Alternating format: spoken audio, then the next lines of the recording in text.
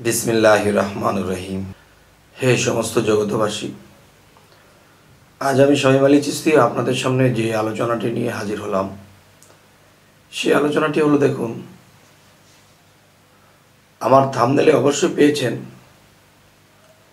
যে মানুষ নামাজ পড়লেই কাফের। মানুষ নামাজ পড়লে কাফের এটা কেমন কথা? অবশ্যই। জিনিসটা আমাদের বুঝতে হবে। তাই ভিডিওটি টানবেন না, সম্পূর্ণ ভিডিওটি দেখবেন ইনশাল্লাহ দেখেন, আমরা যদি কোরআন শরীফের মধ্যে যাই, আল্লাহ কিন্তু সবচেয়ে পাওয়ারশীল এবং আল্লাহর যে কথার মধ্যে যে পাওয়ারশীল এবং সবচেয়ে বড় মাপের যে কথা, সেই কথাটি পাওয়া যায় কোথায়? সুরা ইকলাসের মধ্যে পাওয়া যায়। আয়াতুল কুরসিতে পাওয়া যায়। আচ্ছা আল্লাহ কি বলেছেন? আমি এক, আমার দ্বিতীয় নেই। এবং আমি স্বয়ংসম্পন্ন আমার কোনো কিছুর অভাব নেই। আচ্ছা তাহলে পৃথিবীর কোনো মানুষ যদি একবার বলে যে আল্লাহর অভাব আছে, সাথে সাথে সে কাফের। কিন্তু এভাবে কিন্তু কেউ বলে না যে আল্লাহর অভাব আছে। কিন্তু তারা এমন কিছু কথা বলে, সেই কথার মধ্যে আল্লাহর অভাব দেখানো হচ্ছে। আর সেটা কীভাবে সেটা আমি পরে বলছি। যেমন বলা হয়েছে, নামাজ পড়লেই কাফের। কেন? যখন মানুষ না বুঝে পড়বে। আর কাফের শব্দের অর্থ কি? কাফের বলতে শুনতে খুবই খারাপ মনে হয়। কিন্তু কাফের শব্দের অর্থ হলো অবুজ। যাদের ইসলাম বোঝার জ্ঞান নেই, আল্লাহ রাসুলকে বোঝার জ্ঞান নেই, তারাই হলো কাফের। তারা নবীকে অত্যাচার করেছে, নবীকে মেরেছে, তারাই হলো কাফের। তাহলে বর্তমানে যদি কাফের থাকে নবীকে পাবে থেকে তাকে মারবে? কিন্তু তারা এমন ভুল কিছু কথা বলে যার ফলে নিজেদের কাফের হয়ে যেতে হয়। দেখেন, কোরআনে কিন্তু আল্লাহ এটা বলেছে যে, তোমরা যখন আমাকে স্মরণ করবে, আমার জন্য নামাজের নিয়ত করবে, তখন আমি ব্যতীত আর কেউ থাকব না। একমাত্র আমি থাকব এবং হাদিস শরীফে পাওয়া যায়।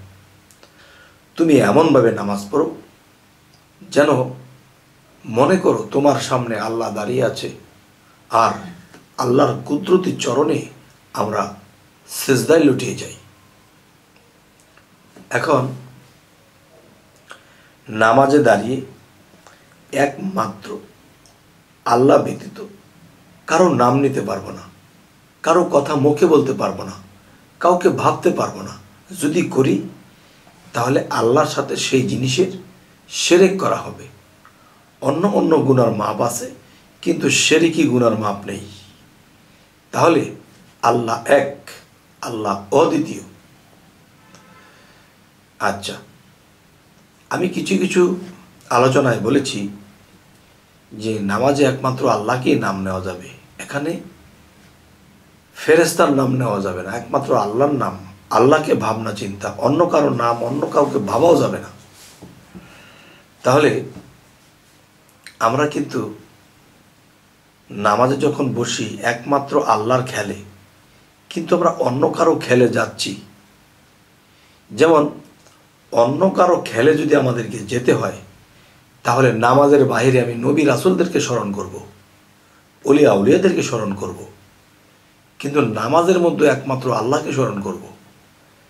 এখন নামাজে দাঁড়িয়ে কতগুলো জায়গায় ভুল করা হয়েছে, যেই ভুলের কারণে আমাদের নামাজ তো বরবাদ হবেই, আমাদের যেতে হবে জাহান নামে মানুষ সবসময় বলে থাকে যে, মানুষ নামাজ পড়লে জান্নাতে যাবে। কিন্তু এই নামাজ যদি সঠিকভাবে পড়া না হয়, সেই মানুষটি যে জাহান নামে যাবে, এই কথাটা কেউ বলে না। আচ্ছা এখন আসি যখনই নামাজের মধ্যে বলা হচ্ছে যে, কুল অর্থ উল্হু আল্লাহ আহাদ। বলো আল্লাহ এক, আল্লাহ অদ্বিতীয়। এখন আমি নামাজে দাঁড়িয়ে আমার ভাবনা কি? আমার সামনে আল্লাহ ব্যতীত কেউ নেই। আল্লাহ ছাড়া যদি কেউ না থাকে, তাহলে সামনে আল্লাহ ব্যতীত কেউ নেই। কুল হো আল্লাহ আহাদ, বলো আল্লাহ এক। আমি কাকে বলেছি? এই কথাটা আমি কাকে বলেছি? আল্লাহ সামাদ, বলো আল্লাহ সামাদ। লাম ইয়ালিদ ওয়ালাম ইউলাদ ওয়ালাম ইয়াকুল্লাহ কুফুয়ান আহাদ। আল্লাহ জন্ম নেন না, আল্লাহ জন্ম দেন না। আমি নামাজে দাঁড়িয়েছি, আল্লাহ ব্যতীত আমার সামনে কেউ নেই।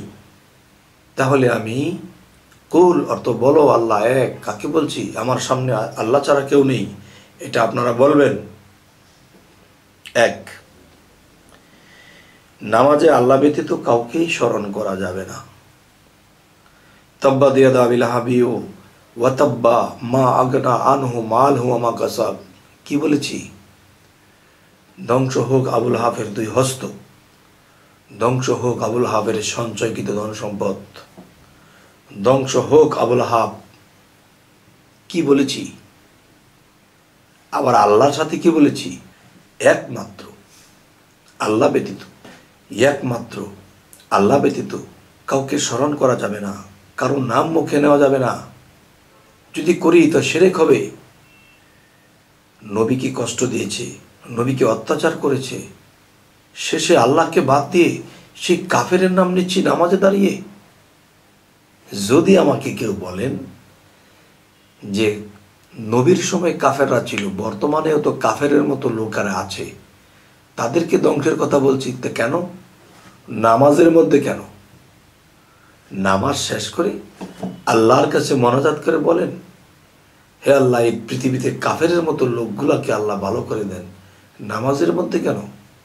এই কথার পেঁচ কাটতে পারবেন না। আচ্ছা এরপরে বলব যে মানুষ যখন নামাজে দাঁড়ায়, তখন কিন্তু যে কয়টা রুকু হয়েছে, কয়টা সিজদা হয়েছে, কয়টা ছুরার কোন ছুরার পরে কোন ছুরা হয়েছে, এই খেলে আছে। কিন্তু আল্লাহর খেলে কিন্তু নেই।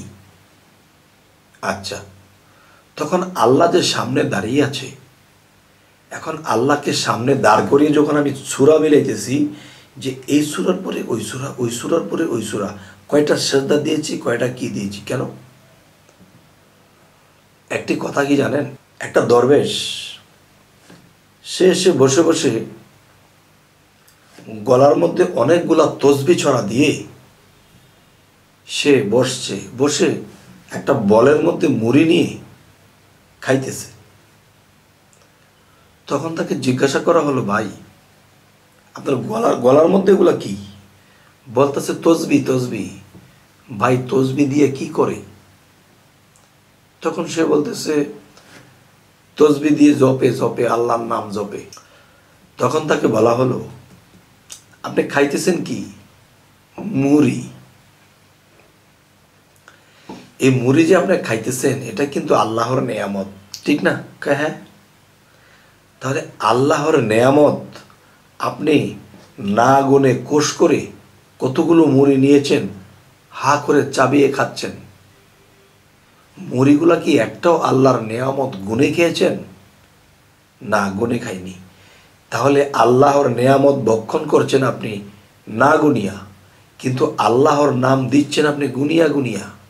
কেন? অগণিত খাব, অগণিত আল্লাহর নাম নেব। তাহলে আল্লাহর নেয়ামত যদি আমরা অগণিত খাই, তাহলে আল্লাহর নামটা কেন আমরা জপিয়ার গনিয়া গনিয়া দেই? তাহলে আল্লাহকে একদিন ধরবে না? আমার নেয়ামত তোমরা খেয়েছ, মোট করে অগণিত খেয়েছ, আর আমাকে আমার নাম গনে গনে দিয়েছ?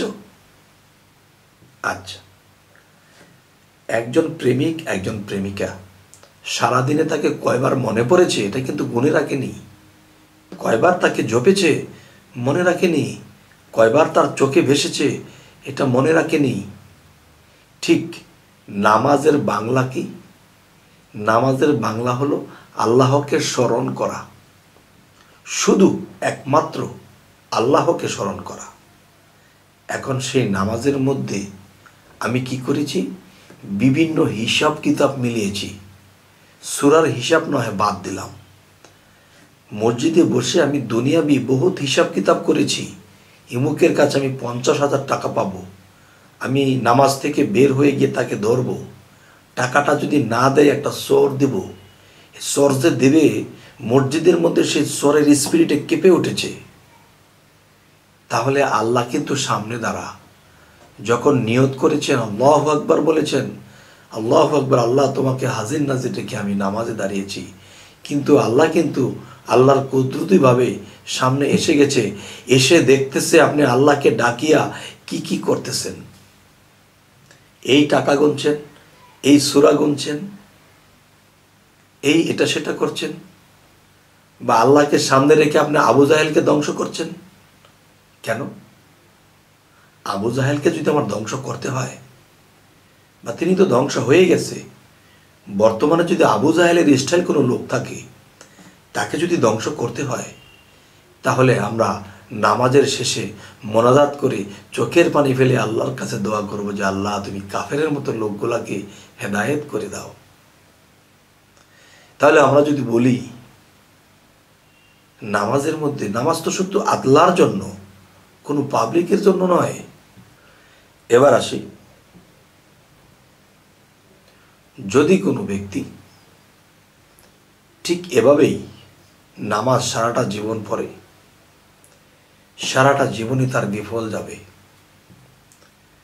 দেখবেন যারা সাধক, যারা সাধনা করে, এই সাধনার কথা কিন্তু আল্লাহ কোরআনে বলেছেন, যখনই অবসর পাও, সাধনা করো।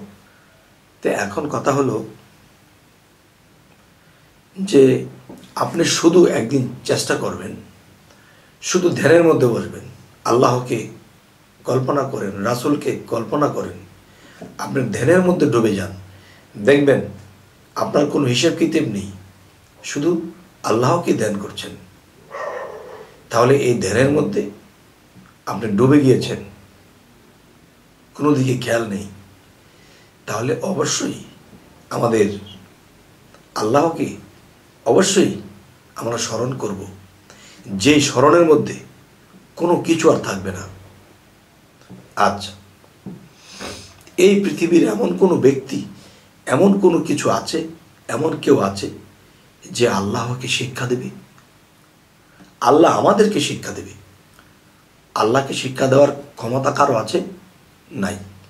যখনই নামাজে দাঁড়িয়ে বলতেছি, কুল, বলো, হু আল্লাহ আহাত বলো আল্লাহ এক, আল্লাহ অদ্বিতীয়, আল্লাহ সামাদ, বলো আল্লাহ স্বয়ং সম্পূর্ণ তাহলে আমি কাকে বলেছি? কুল অর্থ বলো। আল্লাহ এক। আল্লাহ তো সামনে আমার। আল্লাহ ব্যতীত এখানে কেউ নেই। কাকে বলেছি আমি? জীবনে কি ভুল করেছি? আসলে আজকে যে আপনাদের সামনে আমি যে কথাগুলো বলতেছি, আপনাদের খারাপ লাগলেও আমাদেরকে জানাবেন, ভালো লাগলেও আমাকে জানাবেন। কিন্তু আমি আপনাদেরকে নিষেধ করছি না। আমি কি করছি? আপনাদের কাছ থেকে বুঝতে চেয়েছি, এখানে কি আমার বোঝার কোনো ভুল আছে? নাকি সঠিক আছে? আপনাদের কাছ থেকে জানার জন্যই আজকে এই আলোচনা।